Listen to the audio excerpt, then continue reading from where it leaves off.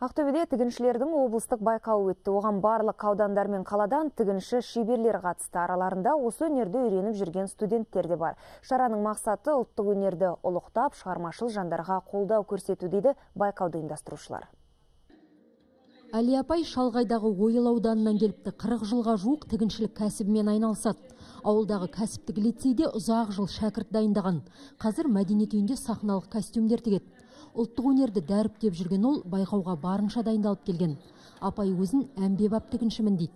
Көрпе төсек сырт киім бала киімі бәрін тіге береді. Қыз жасауы көрпе бүткіл енді универсал болғанда менің қолымнан бәрі де келеді. Иә бәрін де тігемін. Негізі лицейде жұмыс істегенде қаншама тігіншілерді біздер оқытып шығардық қазылар алқасында облысқа танымал өнер иелері отыр.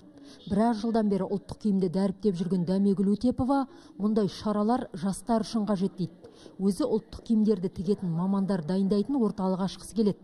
Әзірге шағын шеберханасы бар.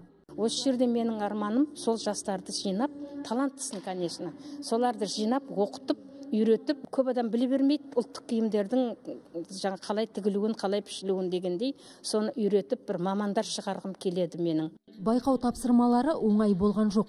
Өзін халыққа жақын таныстыру өзі тігіп әкелген дүниелерін және өнерін көрсету қажет болды. Қатысушылардың ішінен студент қыз үздік деп танылды. Колледжде білім алып жүрген гүлнұр сатыбалдина бірінші орын алды. Біздің кейіпкеріміз әлия өткелбаева үшінші орынды місе тұтты. Ақсәуле байменшин александр степаненко айбек дәуітов ақтөбеден.